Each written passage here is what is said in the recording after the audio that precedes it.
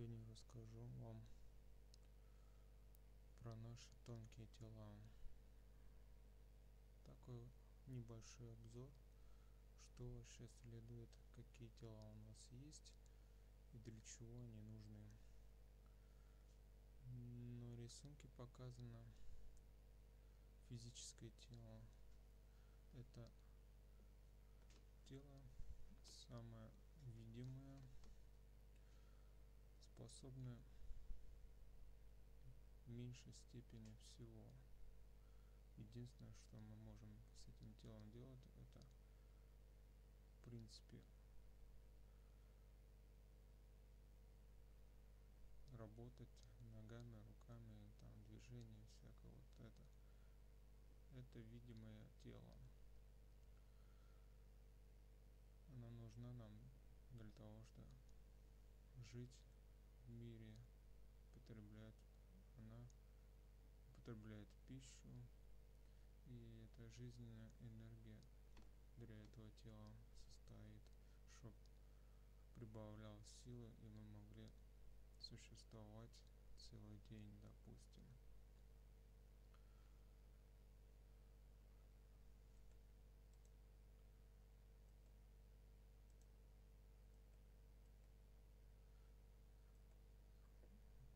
Это тело, которое сейчас на рисунке, эфирное тело. Она уже более тонкий слой.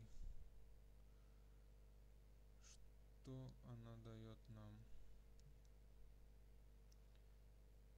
Эфирное тело возглавляет уже не как поедание еды, употребление еды в организме.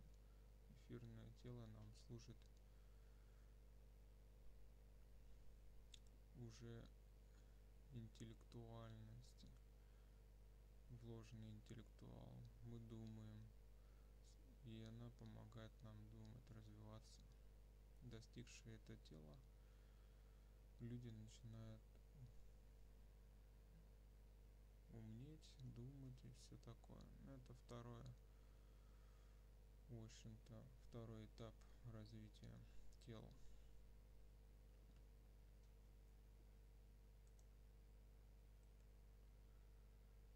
Астральное тело. Астральное тело уже может путешествовать вне пределах нашей возможности. То есть мы можем выходить из нашего обычного физического тела и путешествовать другие места. Почему мы нам снятся различные сны? Например, где мы не бывали, но нам кажется, что мы уже там были, потому что бывает, что эфирное тело преодолевает миллионы километров. Она, ну не миллионы, конечно, тысячами километров преодолевает, за которым мы не можем пешком дойти таким образом. А эфирное тело может. Вот. Она, в общем-то, употребляет, что ну, энергия тоже душ, душевная энергия астрал, которая с помощью астрального проекции мы, она, в общем-то, заряжается.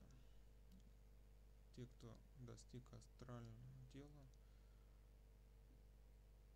могут заряжаться с помощью этой энергии.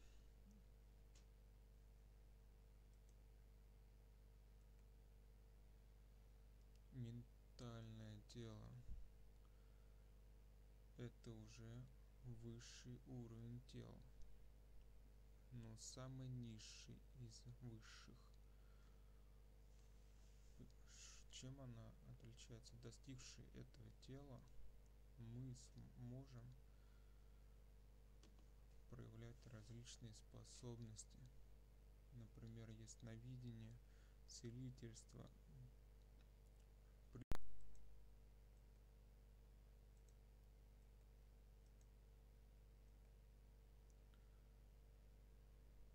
ментальное тело, а нам, на, нам дает изучение предвидения, ясновидения и также различные способности вне пределов физического тела. Вот.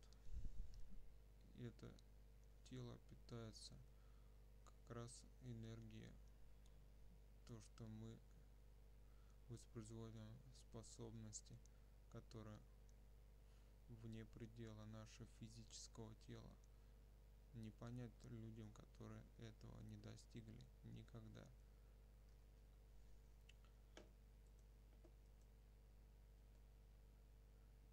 Далее уже идет духовное тело, что оно дает.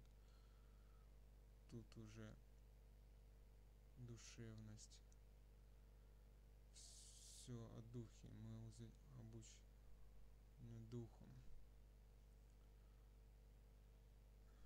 Мы сможем выходить и видеть духов с помощью этого тела, достигшие этого тела, нам возможно нет преград того, что мы будем разговаривать со всеми умершими, не только.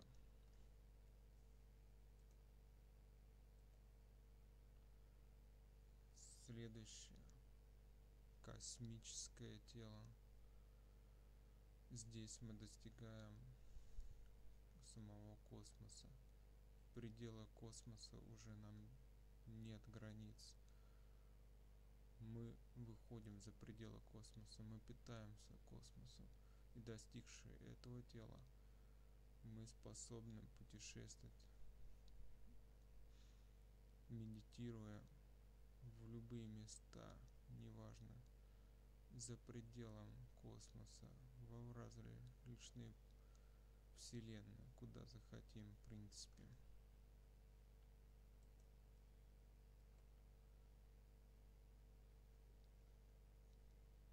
Тело нирвана атмическое тело. По-другому говорится о том, что достигший нирваны это атмическое тело. Мы сможем соединиться с божеством. Мы сами станем, становимся божеством и частицы божественности в нас просыпаются полностью. Мы как ходящий Бог. Вот что это значит. И мы решаем, кстати, решаем мы уже с пятого тела.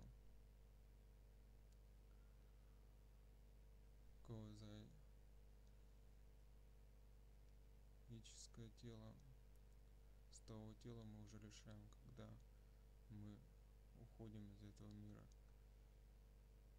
и ставим свое время, а достигший последнего тела мы становимся самим частицей Бога и пределы возможностей невероятнейшие.